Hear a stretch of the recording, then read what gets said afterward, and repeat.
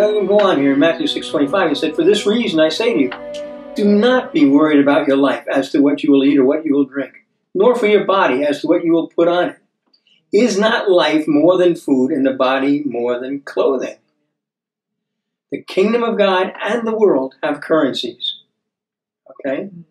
Now, like I said, money in different in the worldly money in different currencies, in the different kingdoms of the world, dollars, pounds, yens. They promise that they'll supply all of your needs and give you all your desires. That's what you want, isn't it? Now, it's not wrong to want your needs met. Especially, I mean, I talked about the men. You want to supply for your for your household or anything. There's nothing wrong It's with your that. responsibility. Yes. And it's not wrong to have desires. It's just a matter of what they're fixed on, right? The currency of the kingdom of God is faith. Because God has promised to supply all of your needs and to give you your desires. But it comes through faith. Mhm. Paul wrote to the Philippians and said, My God shall supply all your needs according to his riches and glory in Christ Jesus. Not according to your riches, according to his riches. Well, what does he have?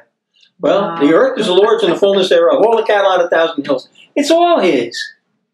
And he'll supply every need you have out of those riches.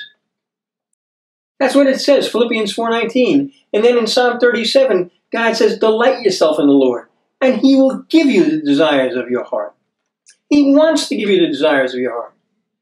But I'm going to tell you another truth. He wants to be the desire of your heart. And when you truly delight yourself in the Lord, He will become the desire of your heart. Mhm. Let me go back to binary again. If you're worried about those things, the Word of God will be choked to death. And you'll wither away spiritually. And most likely in the natural too. You got to seek ye first the kingdom of God and all His righteousness. All the rest will be added unto you. I mean, this is where he started in the, in the Beatitudes when he said, you know, blessed are those who hunger and thirst for righteousness, Mhm. For they shall be satisfied.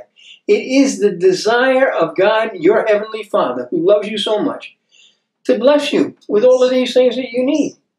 And yet, so many people, they're out there struggling for a paycheck because if they don't have that paycheck, they're going to die. They're going to start. You know, there's nothing wrong with working. But your purpose for being out there is to be an ambassador for Christ, to bring the knowledge of His presence into every place, to bring the love of God into the lives of others. You're not dependent on a job for your needs. You're dependent on God for your needs. Hallelujah. You shouldn't be dependent on those the money that you can get in a paycheck to supply the desires that you have. God will supply your desires when you allow Him to change your desires, and you will be satisfied. That's the truth. Listen, I just want to read a couple of verses to you here. Paul wrote to Timothy, 1 Timothy 6, 7 and 9. For we have brought nothing into the world, so we cannot take anything out of it either. If we have food and covering, with these we shall be content. But those who want to get rich fall into temptation and a snare and many foolish and harmful desires which plunge men into ruin and destruction. You believe the word of God? I have had this, I, I have said, unfortunately, a number of times in the past few months as we have traveled uh, a lot. I'm finding very few spirit-filled, Bible-believing Christians who actually believe the Bible Yes. who have a Christian worldview, who approach the things of daily life. You know, Who appraise things spiritually, the Bible, the Word of God. Peter says God has given us everything pertaining to life and godliness. It's, this is more than just spirituality. Mhm. This is God's instruction on how to live life. What kind of life? Abundant life, joy filled life. Amen. That's the kind of life that this this word of God is instruction for, because that's God's desire for you. Don't just just think about these. I'm going to read from the book of Revelation. I want, to, I want to look at a couple of congregations here, gatherings of people. I know your tribulation and your poverty, but you are rich. And the blasphemy by those who say they are Jews and are not, but are a synagogue of Satan. That's what Jesus spoke to the church in Smyrna in Revelation 2 9. And then he said to the church of Laodicea, Because you're lukewarm and neither hot nor cold, I will vomit you out of my mouth.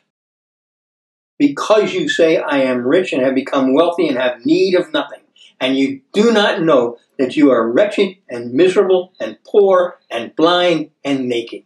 So the question becomes are we strong enough to do what's right in the eyes of God? To deny ourselves here on earth and store up our treasure in heaven and not on earth? I pray that the eyes of your heart may be enlightened, so that you will know what is the hope of his calling. What are the riches of the glory of his inheritance in the saints?